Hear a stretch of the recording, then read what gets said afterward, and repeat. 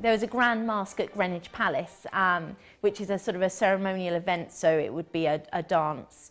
Um, Anne was cast as one of the seven, seven ladies playing the seven virtues. Uh, appropriately enough, as it turned out, she played Perseverance. The ladies danced in a mock castle.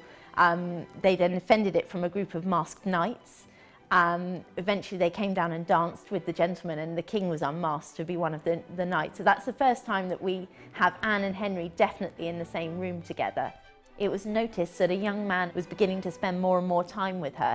This was Henry Percy, who was quite a significant figure. He was the heir to the Earl of Northumberland, so far out of Anne's league status-wise. There were rumours of a secret engagement between the couple this came to the king's ears and the king ordered Wolsey to break off the match. Percy's father was summoned from the north and spirited him home, where he was married off immediately, and Anne was sent home to Hever Castle in disgrace.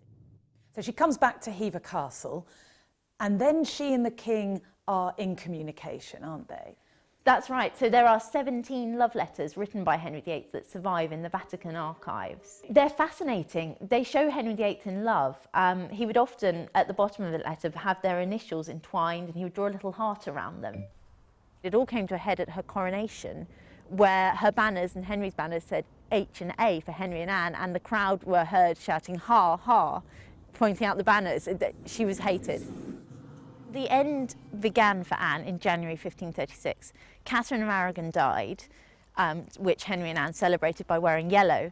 On the day of Catherine's funeral, Anne miscarried a son.